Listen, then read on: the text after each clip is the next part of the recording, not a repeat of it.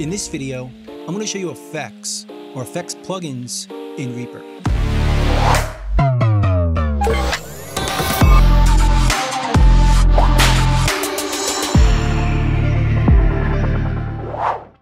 I have a track set up here, and I want to add an effect to it.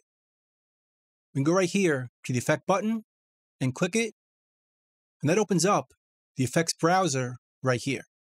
We can choose our effects for this track. And as you can see, there's a lot of them. And we can filter them by going down over here to our filter and typing in a word like EQ.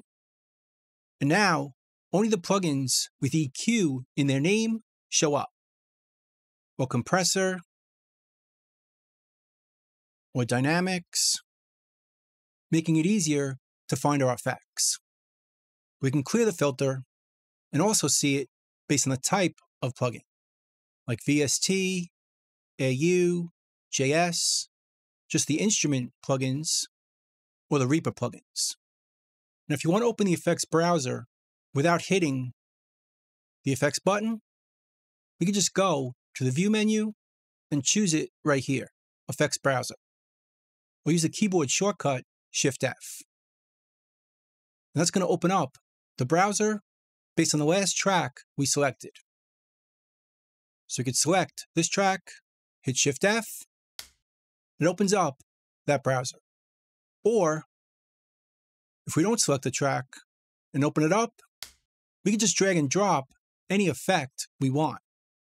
Let's grab the EQ and drop it on this track. And that adds the EQ plugin to this track. Let's delete it and go back to our browser because we could also see our plugins based on categories, based on what they do, the developers, the company that makes them, our effects chains, which we'll go over in a bit, and some folders that we can create. Starts off with a favorites folder, so we can drag in our favorite plugins to this folder. Let's go to the Reaper ones, choose ReaEQ, ReaVerb, ReaComp, and ReaGate, and just drag them to this folder. Now we can go to the favorites and see our favorite plugins in that folder. But we could also create as many folders as we want. Just right click over here and add a folder. And we could also use smart folders. Let's say we want to create a folder for our Stillwell plugins. Let's name it. Then we can make it a smart folder and put in a filter of Stillwell, create it. Then all the plugins with Stillwell in the name are going to show up in this folder automatically. And if we add new plugins with that name in them, they're automatically going to be added to this folder. And we can delete our folders by right clicking and removing them right here. So let's open up an EQ on this track. We'll go to Reaper plugins and choose ReaEQ, which is the EQ plugin that comes with Reaper. Just double click it. Now that effect is on this track. And the section over here is called the effects chain. Over here we see our effect, and we can adjust it. But over here we can see the list of plugins on this track. So let's add a few more. Let's add a compressor and a gate. And now we can change the order of our plugins on this track right over here. Let's start with the gate, then the compressor, then the EQ. And we can select them and then adjust each plugin over here, one at a time. And we could also bypass each plugin right here by checking and unchecking these boxes. Now we could also float these plugins so each one will have their own window. Let's double click the gate and the compressor and the EQ, close the browser, and now we could organize these windows so we can see all of them at the same time. That's known as floating. But we can close them and open them up again and put it back so we can see the chain over here with the effects over here. Now we can also save our chains. Let's say we created our settings for our gate with the attack and release, adjust our compressor, our ratio, and our EQ. Let's say we're happy with this effects chain. We want to use it again. We could right click over here, go to effects chains, and save all effects as chain. Or just select a few we want to save and right click that and just save selected effects as a chain. But I'm going to save them all as a chain. And it's going to save it in our effects chains folder.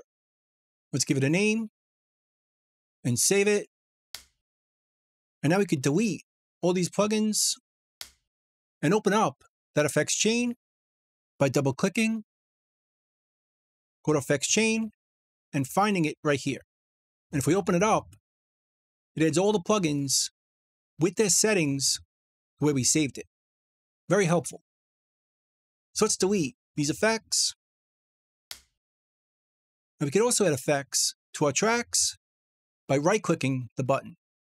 We can see recently used, categories, developers, our effects chains, and our favorites, and any other folders we create.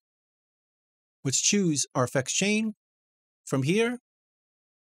And when the effects are already on this track, they're going to show up if we right click the button right on the top over here. And they're going to float if we choose them one by one. Here's our gate.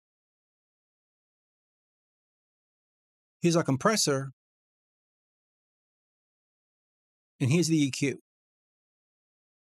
So we can choose our effects just by right clicking the effects button to see them or add new ones down here. Now we could also bypass our plugins on this track by hitting this button. It's green when there's effects on the track. Hit this button, it turns red and it bypasses those effects. So I'm not going to hear effects on this track. Hit it again, and the effects turn back on. We can also delete the effects with a modifier. On PC, it's Alt, and on Mac, it's Option. Just click the button, and it turns gray, letting us know there's no plugins on this track. So we deleted them or removed them. Let's put back the effects chain. And we can also copy or move our effects from track to track. Let's create another track down here. And let's duplicate our effects to this track. We can drag and drop our gate, and that puts the gate on this track. While we still have our gate and the rest on this track. Let's duplicate the compressor and the EQ. And now both tracks have all of the effects. Or we can move them instead. Let's delete all these. Let's move the compressor to this track. Hold on Alt on the PC or Option on the Mac and drag it over.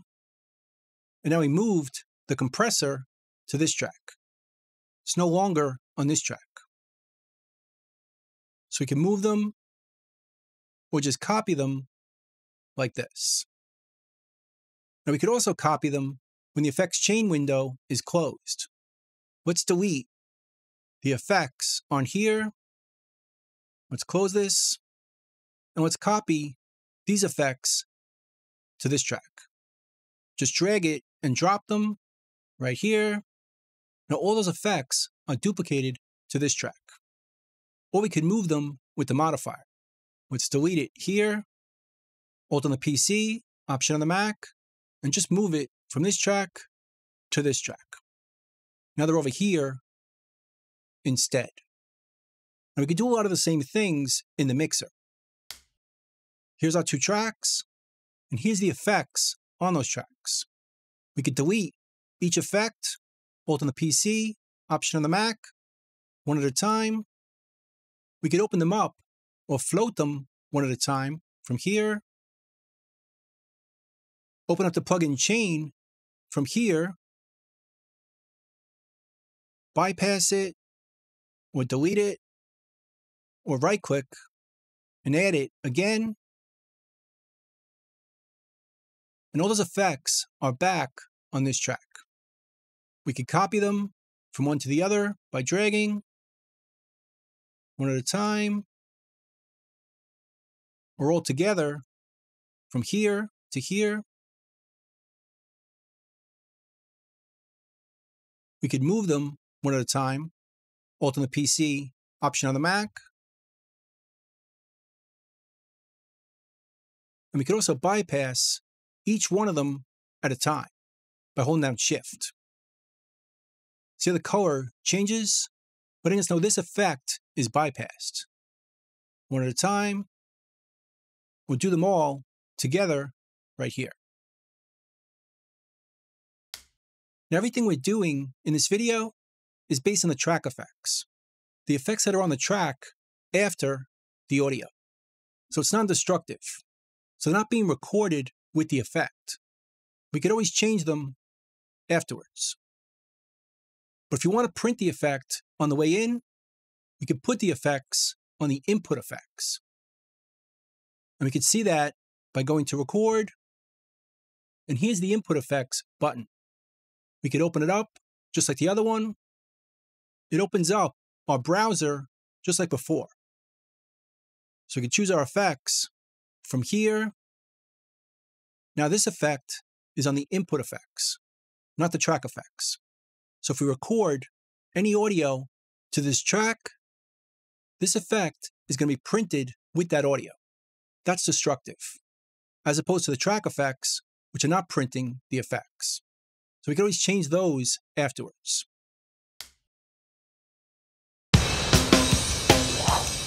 So that's pretty much it. That's the effects or effects plugins in Reaper. I hope you learned something, hope you can use it, and I'll see you in the next video. Thanks.